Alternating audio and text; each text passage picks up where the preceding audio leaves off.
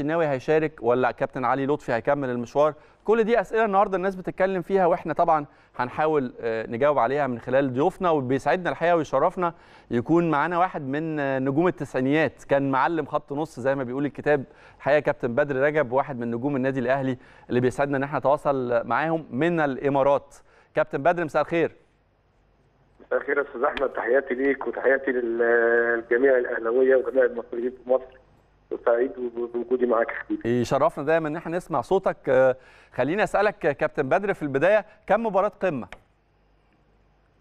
أنا حوالي من 8 ل 10 مباريات قمة. آه أصعبهم إيه يا كابتن بدر؟ ممكن يكون ممكن يكون أكتر من كده. أصعبهم البدايات يا أستاذ أحمد. البدايات بتبقى صعبة دايما. صعبة جدا جدا جدا. كانت في 84 موسم 84 85 وكانت ضد نادي الزمالك وكنا كلنا ناشئين. آه. وكان معانا بس الكابتن أحمد شوبير حارس المرمى. آه دي المباراة الشهيرة طبعا. آه كسبناها 3 2 طبعا. دي كانت دي كانت دي كانت البداية. آه. دي دي يمكن تكون أهم وأصعب مباراة أنت خضتها في مواجهة نادي الزمالك. دي أصعب مباراة خضتها في حياتي.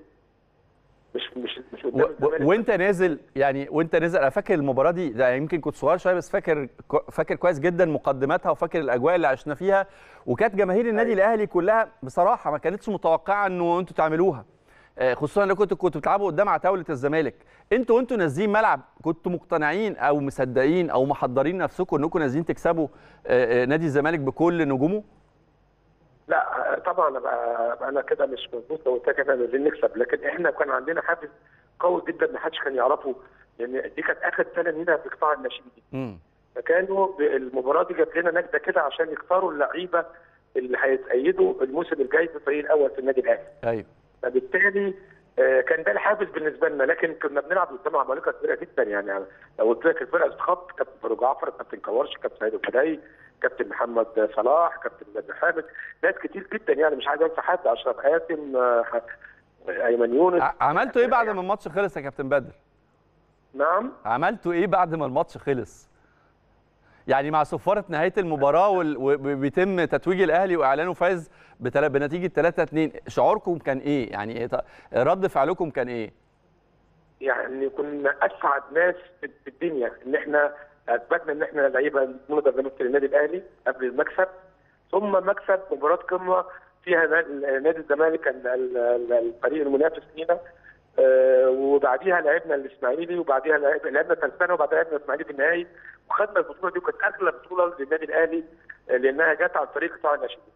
طب اللي أنت بتقوله ده كابتن بدر يمكن ياخدنا لنقطه مهمة جدا إنه الموضوع مش بس فني وبدني يعني الموضوع فيه كمان إعداد نفسي وفكرة إنه يبقى الحافز موجود حتى لو كنت لعيب صغير أو حتى لو كانت أول مواجهة ليك في مشوارك مع نادي زي نادي الزمالك إنه الحافز النفسي والإعداد النفسي هنا في منت... عامل في منتهى الأهمية.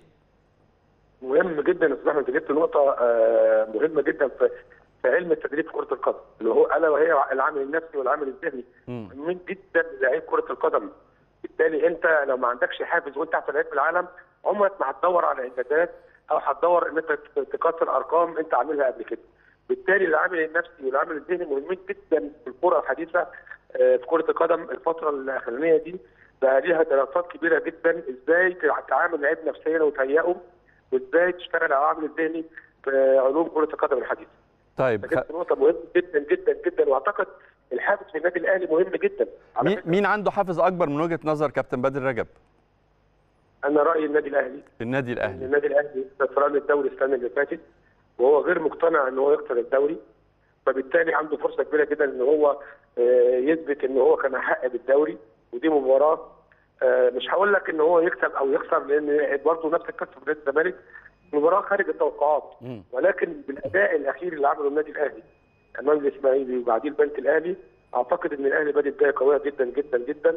ومستر العثماني ابتدى يحط إيديه على الطريقة وأسلوب اللعب والتشكيل الأمثل لأي مباراة.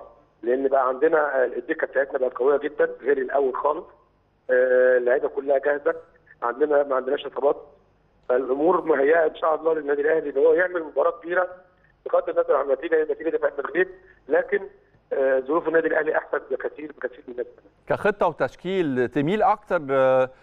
لل... للمجازفة ولا تمي- تميل للعب على المضمون في مباراة زي دي أنا بحب التوازن في اللعب أنا كمدرب يعني لا بكلمك بشخص مدرب يعني مم. بحب التوازن ما بين النواحي الهجومية والناحيه الدفاعية من واقع ال- الأداء اللي شفته للأهلي في الماتشين مثلا في, في, في الدوري إسماعيلي وبنك أهلي آه، الطريقة الأنسب من وجهة نظرك وبالتأكيد أنت شايف ماتشات الزمالك الأخيرة آه، الطريقة الأمثل والتشكيل الأمثل لمواجهة نادي الزمالك.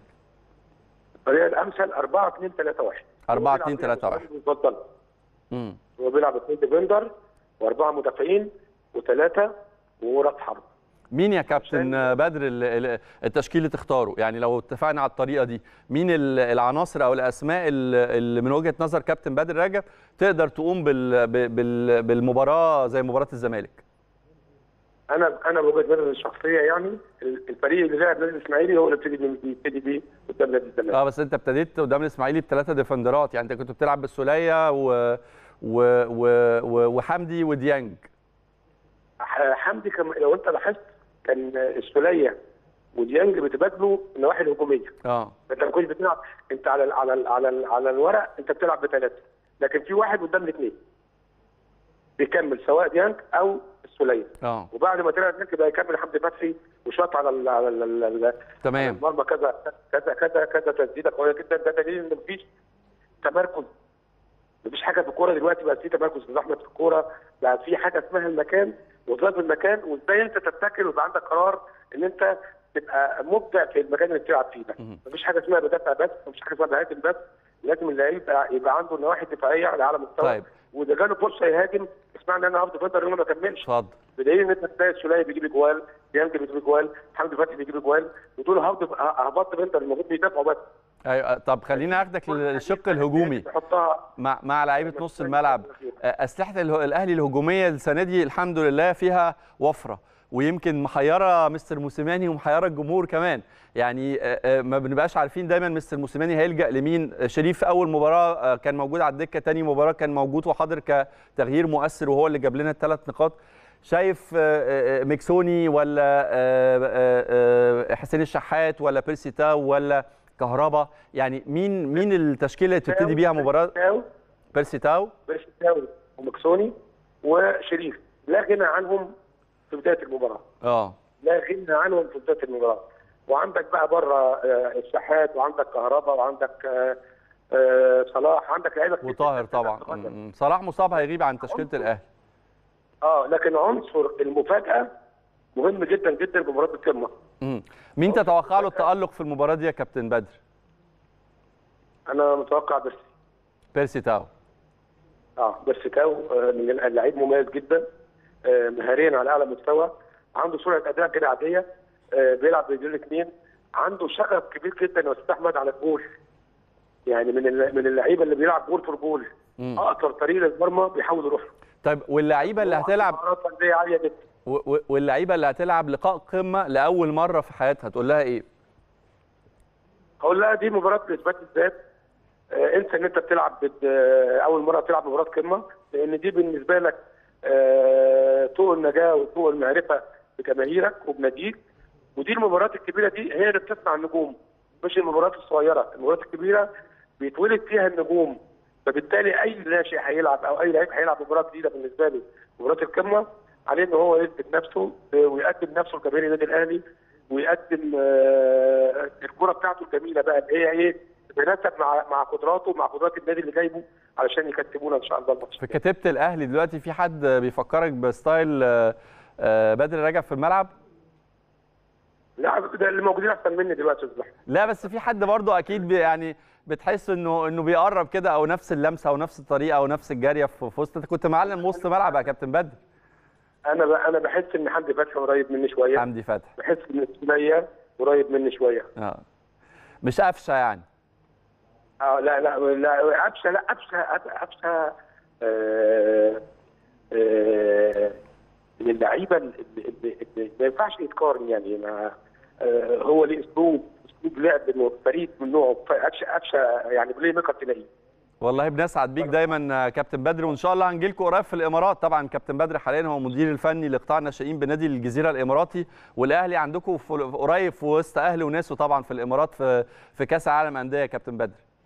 شرفونا أستاذ أحمد وفي انتظاركم وفي انتظار النادي الأهلي وإن شاء الله على رأسنا وفي استقبالكم إن شاء الله وأتمنى التوفيق للنادي الأهلي طبعا. إن شاء الله بإذن الله. بنسعد بيك وبشكرك شكرا جزيلا على آه، فرصه التواصل معك يا كابتن بدر. شكرا جزيلا. نجم النادي الأهلي طبعا السابق كابتن بدر رجب. خلونا